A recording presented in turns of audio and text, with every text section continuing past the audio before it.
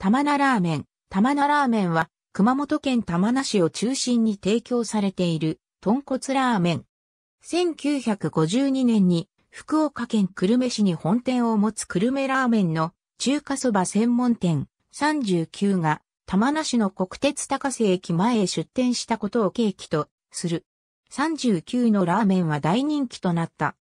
その39の噂を聞きつけ、熊本市から訪れた山中康俊、重光浩二、木村はじめは39の味に感銘を受け、山中は小紫、重光は味仙ラーメン、木村は松葉県といった後に熊本ラーメンの元祖とも呼ばれる店舗をオープンさせることになる。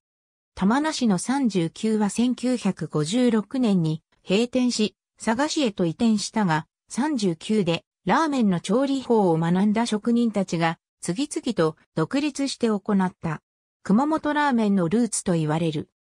玉名市でラーメン店が普及した背景には、近郊で海苔の養殖が盛んであり、作業を終え、凍えた体を温めようとした労働者たちがラーメンに飛びついたこと、焦がしニンニクを精がつく食として労働者たちの指示もあったためと見られている。濃厚な豚骨スープと中ボスストレート麺、焦がしニンニクのトッピングが特徴。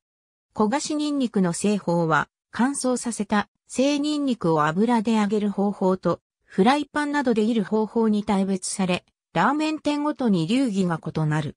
また、焦がしニンニクは、最初からトッピングされているのではなく、客の好みに合わせて店員に振りかけてもらうのを特徴とする。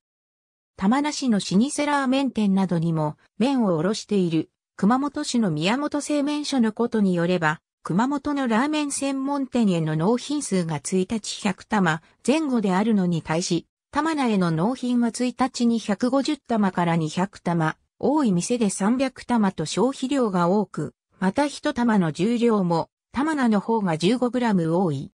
玉名市でラーメン専門店に麺をおろしている吉田製麺所では、製麺機による表面の微妙な凹凸で麺が不均一になり、スープと馴染みやすいことを特徴に挙げている。玉名ラーメン協議会は、玉名ラーメンの認知度を向上させるため、観光資源としての玉名ラーメンブランドの活用を目的として2007年9月7日に、玉名市内のラーメン専門店16店によって設立された。玉名ラーメン協議会では、玉名ラーメンスタンプラリーを企画、実施している。